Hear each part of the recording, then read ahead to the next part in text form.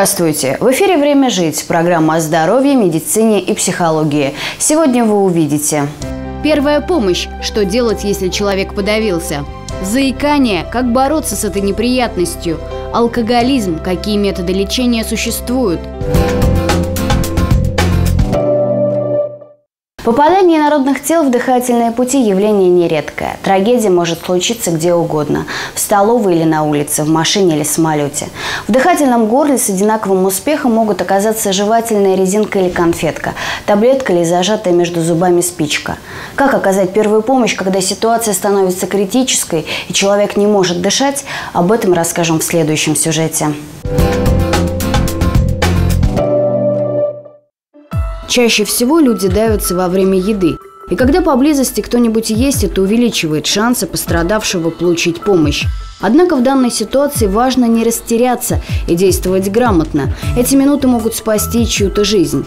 Обычно, когда человек поперхнулся, мы стучим его по спине. Работники скорой помощи говорят о том, что делать так нежелательно. Это допустимо только в некоторых случаях. Стучаться по спине, ну, ну, может быть, когда, если какая-то жидкость, вода может помогает. Конечно, если это действительно, в общем-то, народное тело, то нежелательно. Наоборот, это может пройти, если это где-то район гортани, если оно не полностью обтурирует в области голосовых связок, то малейшее движение – даже кашель, может э, создать условия, что полностью смыкаются связки, то есть происходит асфиксия, еще хуже будет.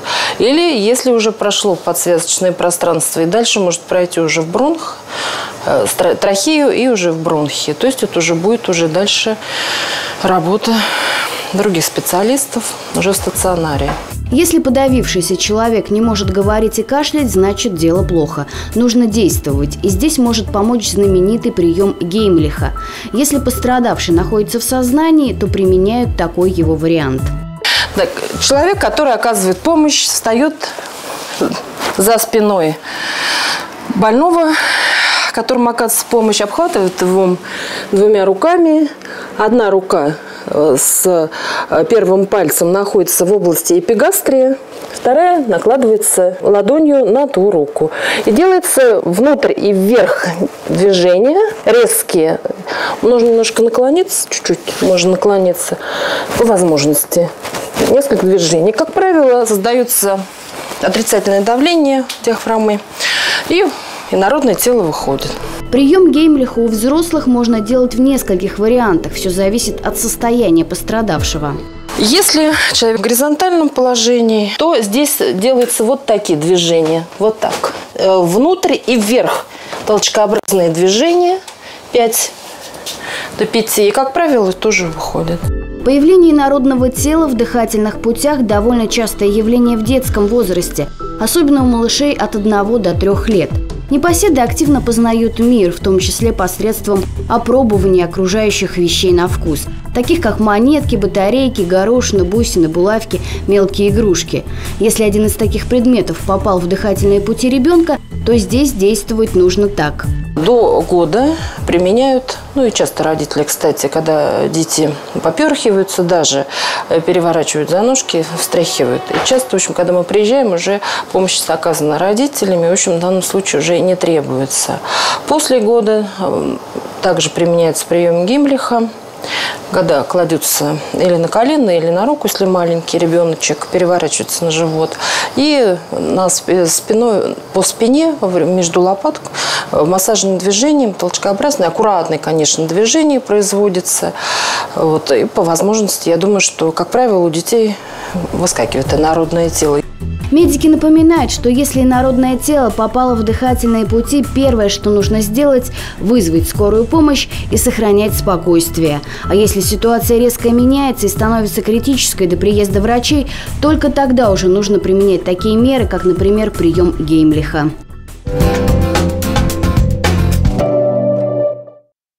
Алкоголизм – одна из актуальных проблем современного общества. Это дурманящее зелье влияет на людей по-разному, но в конечном счете одинаково рушит их жизнь. В следующем сюжете расскажем, как сегодня лечится алкогольная зависимость. Алкоголизм – тяжелейшая болезнь. Он подчиняет волю, разрушает психику. Заставляет деградировать и негативно влияет на работу всех внутренних органов и систем. Но что же тогда вынуждает население браться за стакан? Причины они могут быть различны, но в основном то, что, я считаю, так приводит к развитию алкоголизма, это когда человек не умеет справляться со своими собственными чувствами. И переживая вот эти негативные чувства, испытывая эту душевную боль, всегда возникает соблазн или желание как-то ее заглушить, как-то ее убрать. И, естественно, прибегают ну, к какому-то универсальному транквилизатору, да, который сразу же моментально практически из себя это снимает. Из наиболее доступных средств это алкоголь. А он тут же делает свое дело. Поэтому вначале это так. Но потом вот какая-то тоненькая вот эта вот грань, она переступается. И тогда уже наступает то, что называется болезненным состоянием, пристрастием. Называется химическая зависимость. Это зависимость от этого вещества. Алкоголизм – это бесспорно тяжелое заболевание, разрушающее не только пьющего человека, но и его родственников, живущих в нескончаемом стрессе. Но было бы серьезной ошибкой считать алкоголизм неизлечимым заболеванием. Конечно, как и любые психические недуги, эта болезнь прежде всего характеризуется очень выраженными защитными механизмами. Человек сопротивляется признанию самого себя внутри. Поэтому первый шаг, наверное, к выздоровлению ну, заключается в том, чтобы ну, как-то дать понять человеку о том, что он перестал сам себя обманывать.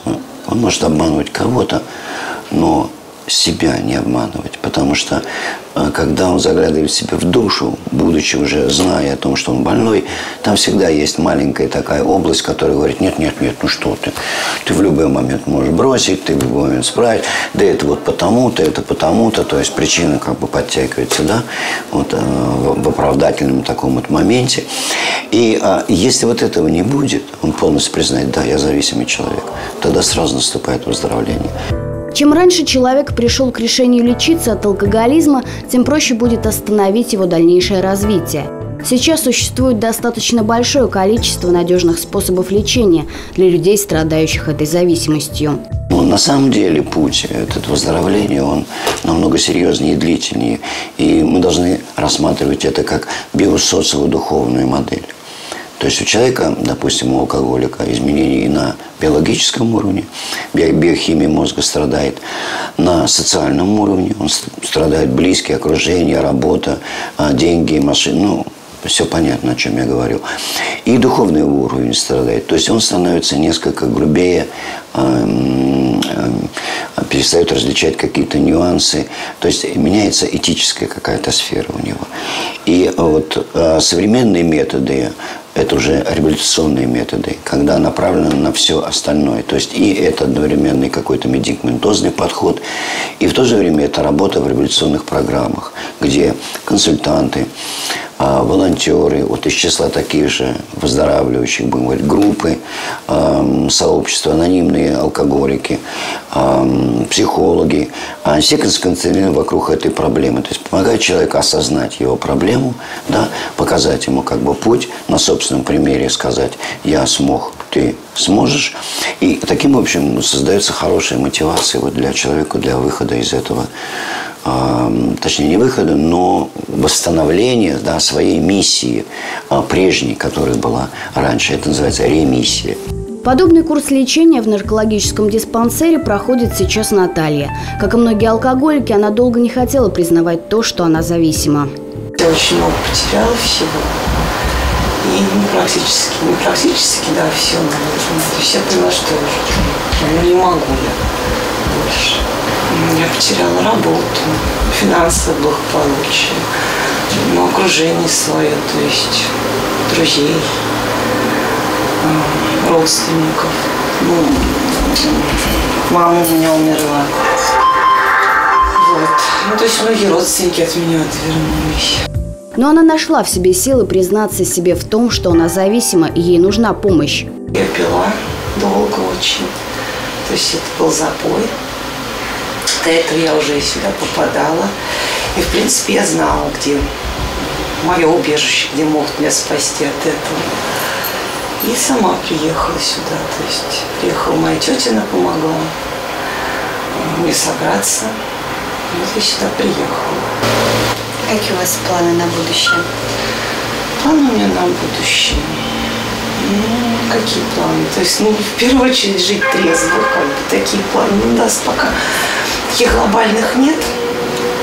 Какие-то такие реалистичные, работать нормально как-то финансово, что стояло. Это еще раз доказывает то, что выйти из кошмарного круга алкогольной зависимости и вернуться к нормальной жизни можно, но лишь захотев это сделать. Следующем сюжете мы поговорим о такой проблеме, как заикание. Наверняка кто-то из вас смотрел фильм «Король говорит». Это удивительная история жизни короля Великобритании Георга VI, который преодолел заикание с помощью талантливого логопеда. Сегодня мы вспомним этот фильм и выясним, как решаются проблемы с заиканием в настоящее время. «Король говорит» был снят на основе реальных событий. Он рассказывает историю короля Георга VI перед началом Второй мировой войны, который боролся с проблемой заикания, преследовавшей его всю жизнь. В этой исторической драме удачно показано, насколько серьезной проблемой может быть заикание, особенно для такой фигуры, как будущий король, который испытывал большое унижение, когда выступал с речью перед тысячами британцев. Стыд заставляет заику не только испытывать стресс, но и вызывает у него негативные мысли, например, неуверенность в себе. Если проблема возникла в раннем возрасте, то ее причина может быть такой – есть ситуация, когда все благополучно, благополучная, гармоничная семья, а у мамы с папой хорошие отношения, нет скандалов. Да, то есть вот благополучно и нет никакого э, события, потому что очень часто э, заикание э, связ, связывают с какой-то травмирующей ситуацией для ребенка, да, и такого события вспомнить нельзя. А у ребенка начинаются затруднения э, в речи.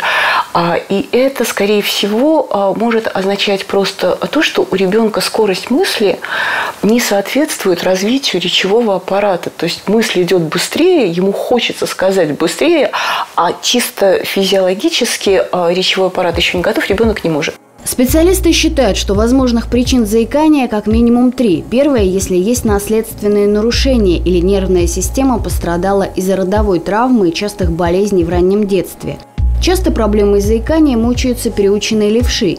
Неверно ориентированные полушария мозга порождают сумятицу в произношении. Это вторая причина. А в третьей виноват испуг или другой стресс, пережитый человеком. И здесь очень важно спокойствие родителей. А разрешение ребенку заикаться, не поправлять его, а не подсказывать слова. Ну, это, кстати, для э, любого типа заикания очень важно, да, вот, и просто спокойно его выслушивать. А тогда э, пройдет какое-то время, это э, бывает ну, около года, может, год-полтора. Да? И э, если ребенка на этом не фиксируют, если в этот момент у взрослого не начинается ужас-ужас, что у меня ребенок э, заикается, э, все выстраивается.